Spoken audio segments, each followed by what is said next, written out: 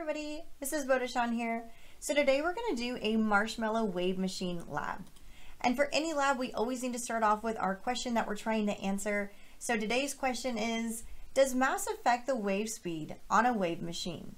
So I've made a wave machine for us. Um, it's just made out of two stands. We have some duct tape going down the center and I've taken some skewers and we're going to start off by looking at um, with no skewers first then we're going to add a little bit of mass by adding some marshmallows to the end, one on each side. And then we're going to do a third trial and we're going to shove another marshmallow on, no, on there. So two marshmallows on each side. And we're going to see how this affects the wave speed. So as you guys see here, this is traveling at a pretty rapid pace. So now we're going to put one marshmallow on each end of the skewers and we're going to try the experiment again and see if it changes the wave speed at all. Okay, and right away we can see that this one's traveling a little bit slower already. So as you guys saw, um, every marshmallow was not perfectly in a line. And that was because the weight distribution was a little bit off. Some marshmallows were really, really big, while other marshmallows were really, really small. So I just moved them in a little bit or out a little bit so that we could just get them a little bit more level to start off our experiment with. So now what we're going to do is we're going to pull them all to the end and we're going to put one more marshmallow on.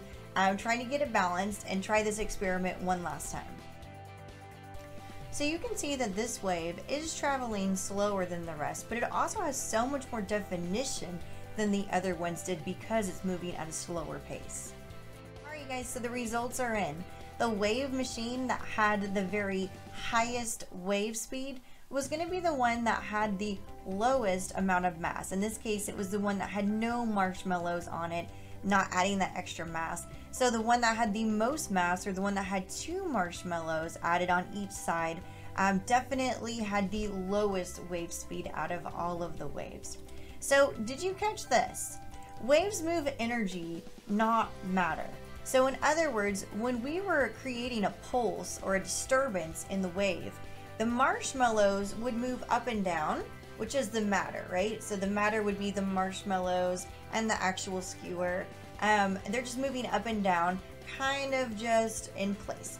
Um, but what's actually moving through the wave is the energy that you've added to the system. So a wave is a disturbance that moves energy, not matter. So one more question for you guys. Uh, does the amplitude affect wave speed? So um, I want to remind you for a second what amplitude is. So amplitude is from the crest of the wave to the rest or rest to the trough. Um, this can go either way. What we're really talking about is the wave height. So let's take a look at that. So for our first trial, I'm creating a small amplitude and if I record the wave speed, it comes in at about 0.9 seconds.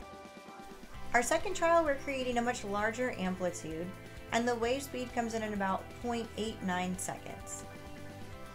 So the results are in, you guys. The wave speeds were almost identical depending on whether we had a small amplitude or a much larger amplitude. So amplitude does not affect the wave speed on a wave machine at all.